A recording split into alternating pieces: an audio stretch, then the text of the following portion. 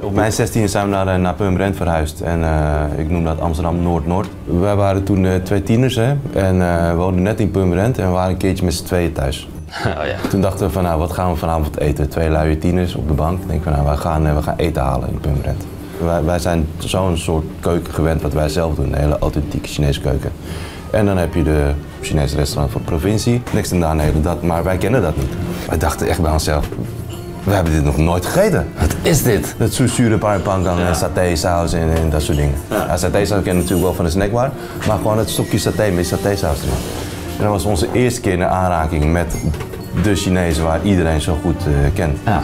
En hoe was dat? Dat was met een partijtje lekker. Dat was zo, dat gaat er wel in. Lekker veel saus.